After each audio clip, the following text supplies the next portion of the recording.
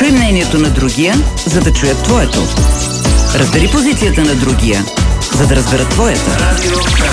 А сега ще разберем мнението и позицията на Четин Казак, народен представител от ДПС. Здравейте, господин Казак. Здравейте. А, да започнем от там.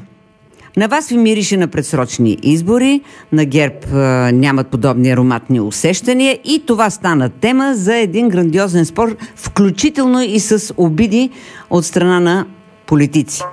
Какъв е вашия коментар като млад и надежден политик?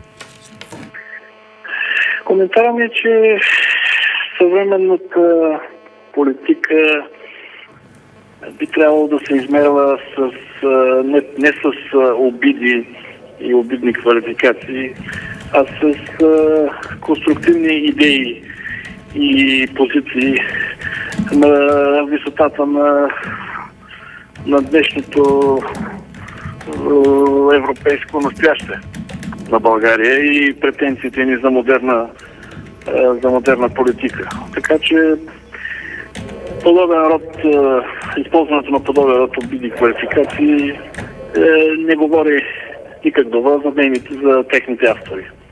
Това е коментара ми специално за обидите. Кратък и ясен, но въпреки всичко на избори си мирише, на предсрочни вече не, защото няма и кога да се правят, но на а, редовни избори си мирише. И как възприемате комплимента, който ви направи премиера, че само ГЕРБ и ДПС са готови за изборите? Как, как оценявате този пък комплимент? Това не е за първи път. Е, не за първи път премиера прави подобна констатация и може би това се дължи на факта, че тази констатация е вярна. Така? Още дори и премиера, дори и ГЕРБ са принудени да признаят, че освен ДПС е, няма друга политическа сила, която да е постигнала такова ниво на, на политическа, на, на постоянство в политическата и изборна боеспособност и готовност, която е, е да, да, да няма своя налог сред останалите политически сили. Приемам го съвсем нормално, като една истина. Общо взето, понякога и премиера е принуден да признае фактите, когато те са, да. когато те са общо валидни. Много политолози и специалисти по изборите отбелязват три факта. Първо, че Бойко Борисов рязко навлезе в смесените региони, където ДПС, ДПС до сега държеше монопол на резултатите от изборите. Второ, че се заражда нова партия, партия, която на Касим Дал, която ще бъде конкурентна на ДПС. И трето, че а, ДПС вече не е онзи незаобиколим фактор за съставянето на правителства и за властта в България, защото дори и официална Анкара няма предишното отношение към лидера Ахмед Доган и към ДПС. Как отговаряте вие на тези анализи? Аз се очудвам как специално лидерите на управляваща партия продължават да упорстват в а, идеята си, че от тях започва всичко, че от тях започва летобрението, включително и политическото. А, тези, които тези наблюдатели, които имат поглед, исторически поглед върху развитието на изборните и политическите процеси в страната, много добре знаете, биха могли да потвърдят, че винаги на всеки избори ДПС е имало сериозна конкуренция, включително в своите традиционни райони, където има традиционно силно присъствие. В течение на годините винаги е имало политически субекти, създадени или е, така поощрени, включително финансово от, от определени водещи в фонд към онзи момент политически субекти, създадени с цел да, да отклонят от гласовете за движението за права и свободи в полза на, на дадената политическа сила, която, която поощрява този процес.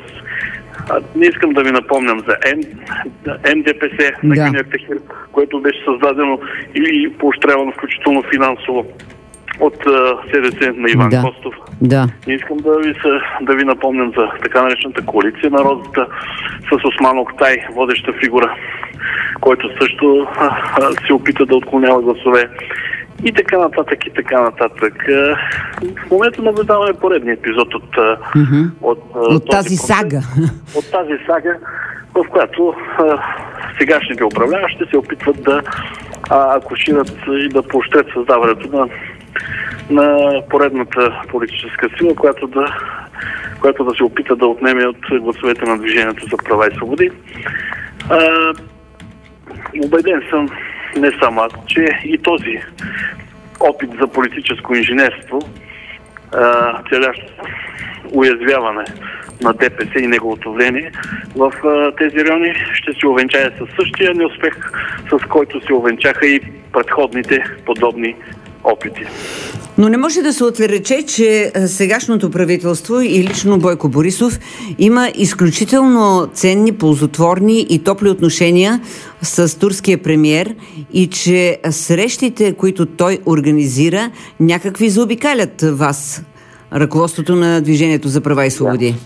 Аз не мога да разбера кога и кой български премьер Не. не е имал е, директни и е, сериозни контакти с своя хомолог от турска страна през годините и кога е, тези контакти са минавали през е, някакво посредничество на Движението за права Да, и свободи. да. Аз не мога да се сетя за такъв е, случай в е, историята на двустранните отношения, в които е, междудържавните отношения между България и Република Турция е, на най-високо ниво да са минавали през е, някакво посредничество на Движението за права и свободи. Така че акцентирането върху този факт в момента Да. ми се струва, меко казано, смешно.